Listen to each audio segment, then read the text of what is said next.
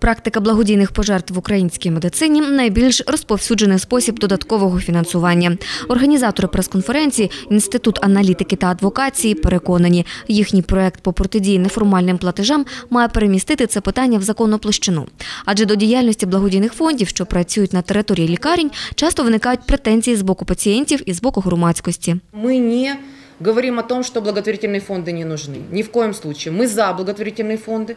Мы для того, чтобы они были как дополнительный источник финансирования благо- э, э, медицинских учреждений, но чтобы они были э, прозрачные, подотчетные. За словами організаторів прес-конференції, під час проведення дослідження надати їм інформацію про свою фінансову діяльність погодилися лише два благодійних фонди.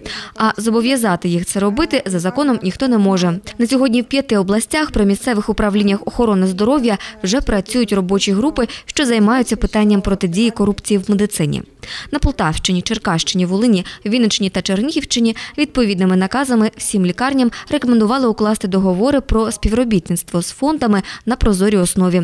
Подібну групу планують створити і в Миколаєві. В рабочую группу мы хотим, чтобы вошли не только активисты, не только э, лекари, которые, жела- естественно, желают участвовать, но и специалисты от управления охраны здоровья. Марина Михайловська, Руслан Черняліс, МСН.